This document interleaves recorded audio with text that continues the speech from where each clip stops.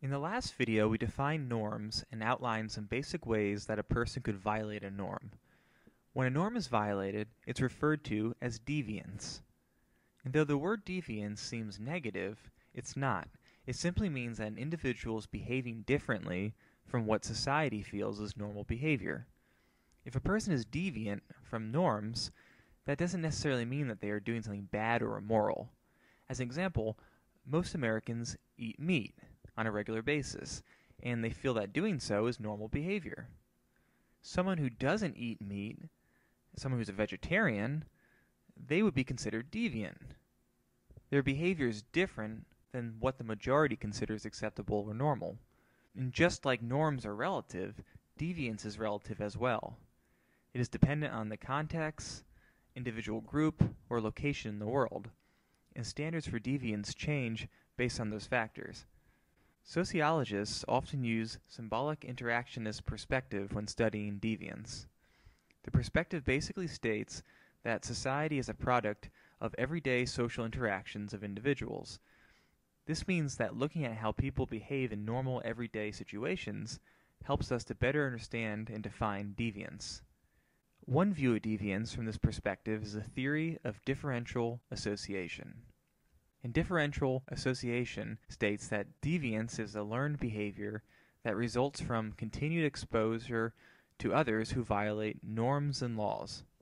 So in this situation, individuals who commit deviant behavior learn values and norms that are different from the dominant culture.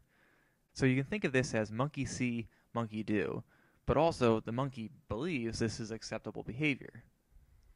So imagine an elite athlete this athlete grows up with coaches and teammates who believe that cheating is wrong.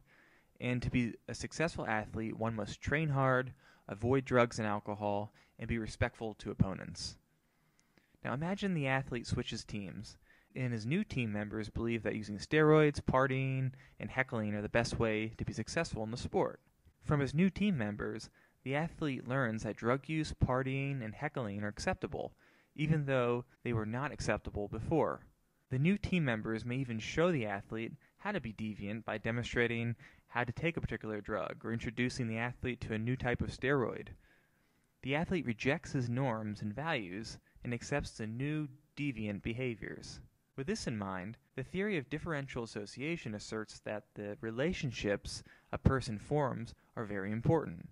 If a person forms strong relationships with someone who is incredibly deviant and provides constant exposure to violated norms, they are more likely to learn deviance. However, if they form relationships with someone who follows norms, they are less likely to learn deviant behavior. Another view of deviance that's supported by the symbolic interactionist perspective of sociology is labeling theory. In labeling theory, a behavior is deviant if people have judged the behavior and labeled it as deviant. So think back on our elite athlete. If he uses steroids, is that deviant? Well, the answer depends on what is considered acceptable within that specific team, sporting league, or even within the greater society. See, using steroids isn't necessarily right or wrong. It is possible that in some situations steroids are medically necessary. However, in the context of professional sports, steroid use can be labeled as wrong or unfair, and thus be considered deviant and subject to criticism from others. Society's reaction to and its labels for the deviant behavior and the person who committed the deviant behavior are very important. An act labeled as primary deviance does not have huge consequences. This act produces very little societal pushback. The reaction to the deviant behavior is very mild and, and doesn't affect the person's self esteem the individual is able to continue to behave in the same way without feeling immoral or wrong. As an example, imagine our athlete took steroids and his teammates found out. Since they all use steroids, the athlete is not labeled as deviant, and his actions go unnoticed. His deviance doesn't matter. However, an act labeled as secondary deviance can produce more serious consequences. Secondary deviance is characterized by a severe negative reaction that produces a stigmatizing label that can result in even more deviant behavior. So imagine the teammate of our athlete uh, label his behavior as deviant, and they exclude him from practices and tell him that he's a terrible player. The reactions may cause him to feel like he needs to continue to use steroids to be a better player.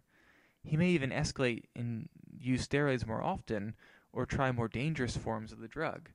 His repeated deviance gives him a reputation, and the stigma of deviance stays with him for the rest of his career.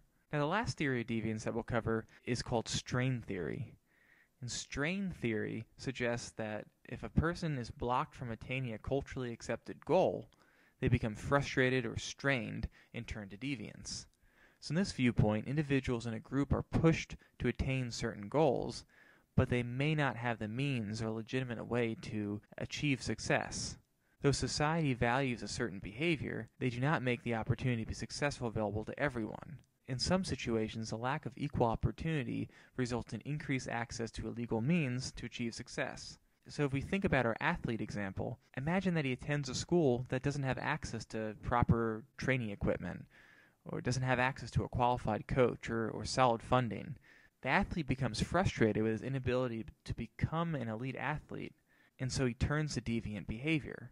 Or maybe because the school's athletic program lacks the proper resources to be successful, there are more steroid dealers in the area, and our athlete turns to steroids to try to level the playing field. These behaviors are deviant, but they provide the athlete with a way to achieve the socially acceptable goal of being a successful, strong, and talented player.